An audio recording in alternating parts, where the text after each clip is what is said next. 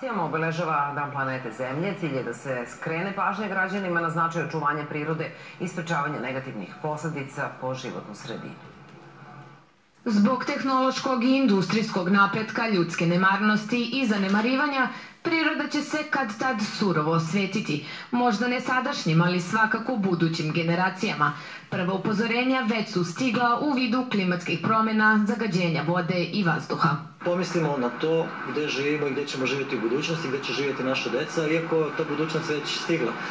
Klimatske promjene koje se dešavaju E, čak e, ne treba više ni dokazivati da su tu. E, one nisu pitanje sutrašnjeg dana, one su tu i danas više za mene lično nije ni važno koji je uzrok takvim klimatskim promjenama. Mi svakako doprinosimo klimatskim promjenama kao vrsta, dakle kao ljudska civilizacija i krajnje vreme se prekine sa dramatičnim zagađenjem planete i ne brigamo o tome. Na jasne znake koje nam priroda šalje moguće je odgovoriti na različite načine, a pošumljavanje je, kako kaže Trivan, jedan od najjednostavnijih, najefikasnijih i najlakših.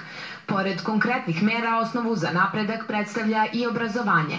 Putem medija, ali i različitih studijskih profila na fakultetima, moguće je podići svest ljudi o važnosti očuvanja zdrave životne sredine.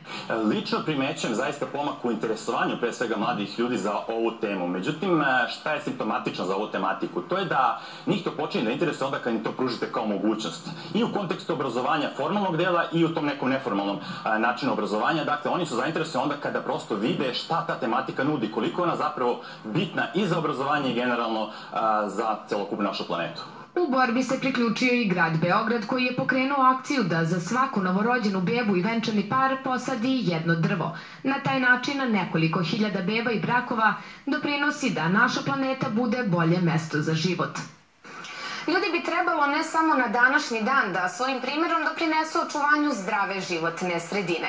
Neki od načina su vožnja biciklom, a ne autobusom ili automobilom ili reciklaža.